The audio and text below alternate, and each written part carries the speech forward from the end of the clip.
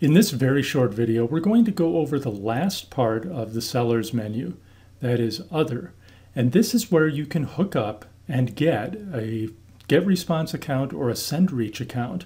These are two autoresponders that work hand in hand with JVZoo. Now the important thing is you need to get them through your JVZoo dashboard in order for them to truly interface together well. They will work if you have an existing GetResponse or SendReach account. I am familiar with GetResponse as I am a GetResponse user. SendReach I have not used.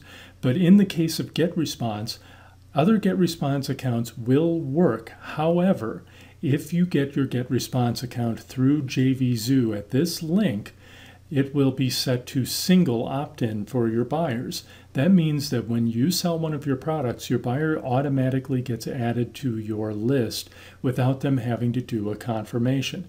This is legal under the CAN-SPAM rules because as a buyer, they have given a tacit um, permission to you to send them emails about your product and about updates for that.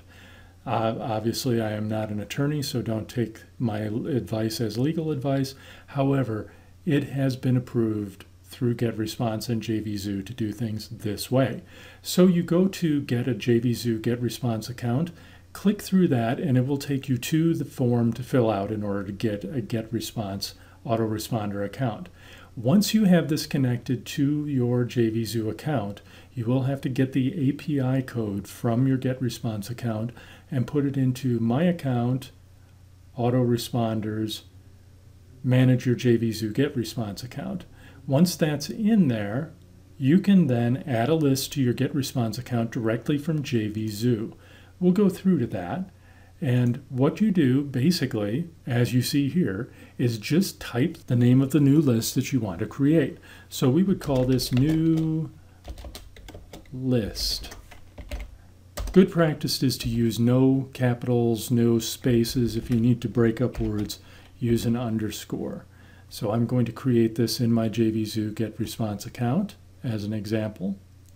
And once it's created, oh, now see, someone else is already using this name. So let's give it a, unique string of numbers at the end so I know it will work. You can only use names that are unique across the entire GetResponse system. So now that we have this new list created, I have my API key blocked out so you can't see it, but I can set a default GetResponse campaign by pulling this list down. If you do this on your own account, you'll see a list of all of your GetResponse lists that are in your campaign. Obviously, I have mine blocked out here. But you can select a list to use, and then this will appear anywhere in, for example, the setup details for a product that are under your seller's dashboard. In the get uh, the auto response section, you can select GetResponse and then import your defaults. And it will import all of your lists and you can select off of that drop down which list you want to have buyers added to. SendReach works similarly, so we really don't need to go into too much detail about that, but this is how you get a JVZoo, GetResponse or SendReach account, and then how you add a list to those respective accounts.